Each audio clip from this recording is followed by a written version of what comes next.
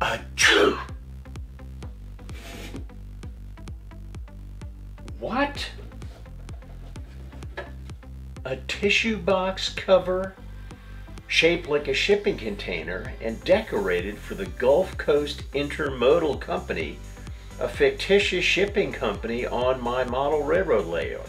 How can that be?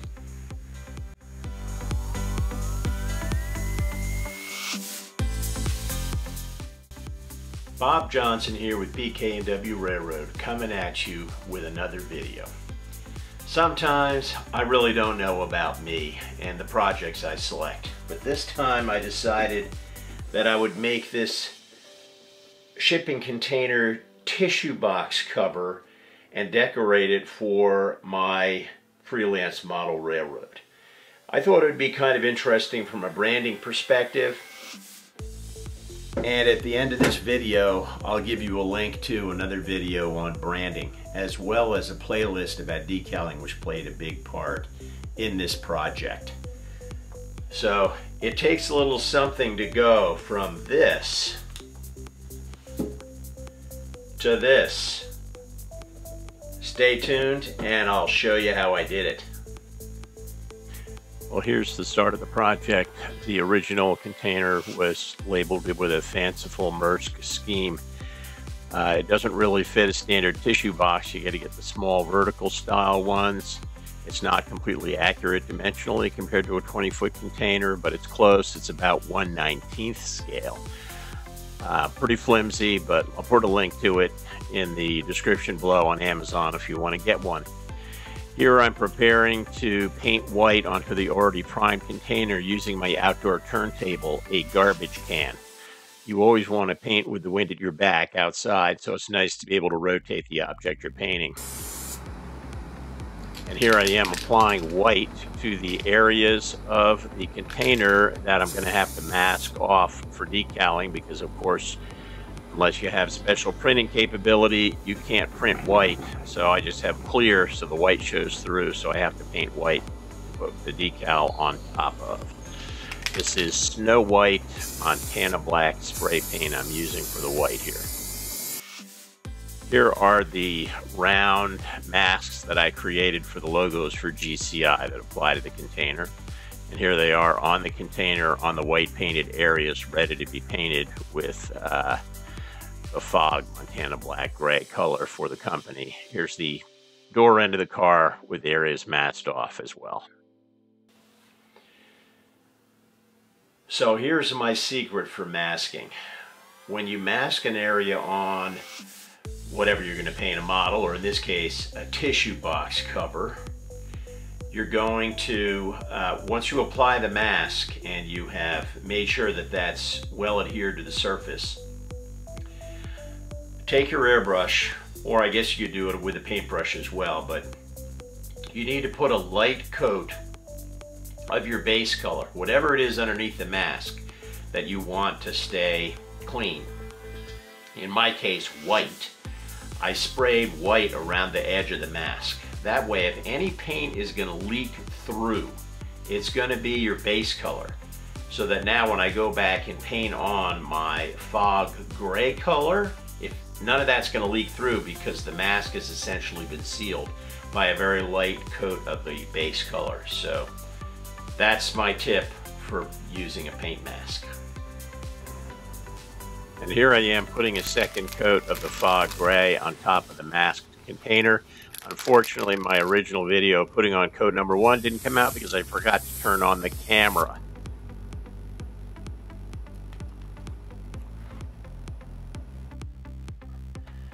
Well, there's something magical about taking off a mask. So let's see, see how we've done. We've got our fog gray Montana black spray paint on here.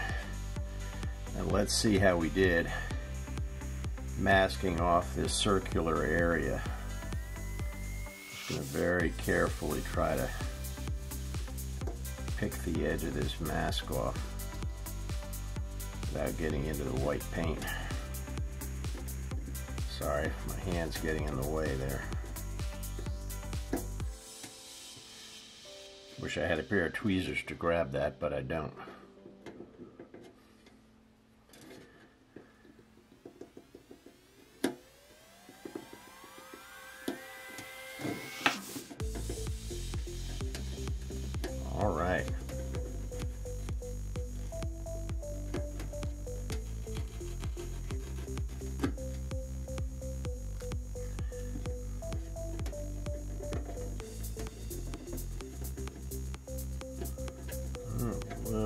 Chip there.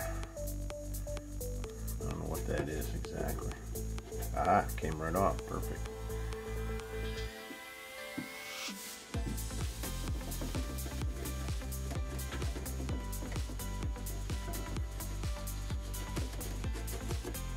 All right, that looks pretty good. Well, as you can see, I did my masking with the frog cake delicate surface.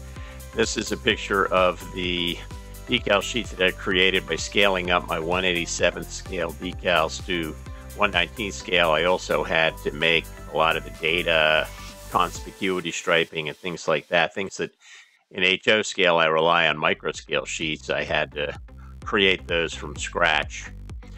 Unfortunately, the time lapse that I created of me applying these decals uh, did not come out for did not come out at all, or I lost it. I'm not sure what exactly happened, but I've done a search for it and I can't find it. So, don't take your film production duties uh, lightly. What follows is a little spin on the turntable of the completed project. I did have to touch up around that GCI logo because the white area, a white circle I created was a little bit too big. There are eight decals on the side, I believe, of the container. And there are 17 on the door end here. Um, I opted to just coat this at the end with a coat of uh, matte, varn matte lacquer rather to uh, protect it.